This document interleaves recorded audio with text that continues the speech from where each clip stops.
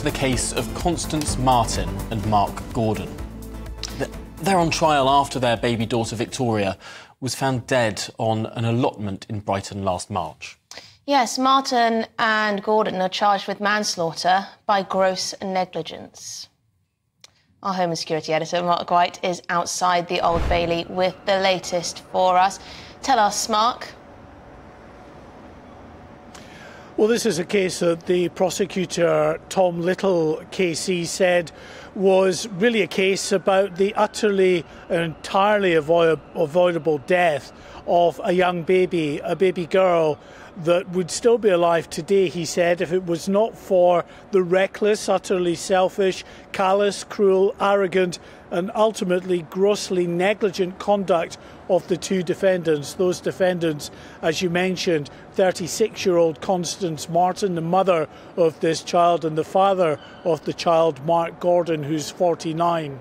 Now, this whole incident came to light, really sparked into a national search for this couple on the 5th of January last year when their Peugeot 206 car was found on fire on the hard shoulder of the M61 motorway in Greater Manchester. When the emergency services attended and put out that fire, looked into the vehicle, they found a number of items, uh, lots of mobile phones, uh, pay as you go burner phones, passport for one of the defendants, and then wrapped in a towel in the back seat.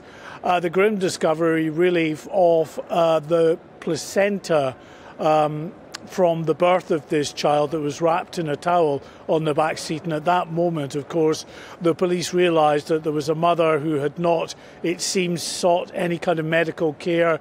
Um, a child that would be in need of medical care as well. And of course, we all remember those events over a number of weeks until their eventual arrest on the 27th of February last year down in Brighton.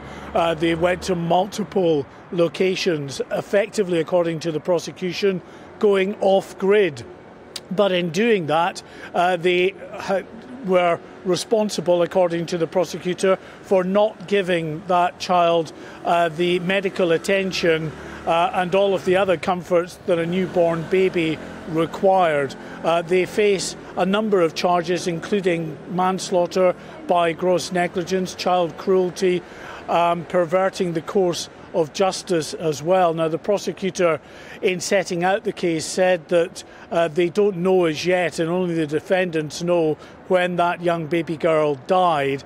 Uh, but when she died, rather than going forward and alerting the police uh, to what had happened, they disposed of the body, according to the prosecutor, by putting the uh, remains of that baby into a shopping bag, covering it in rubbish as if it was refuse, and putting it into an old abandoned shed in an allotment in Brighton. It was discovered a few days after the arrest of this couple.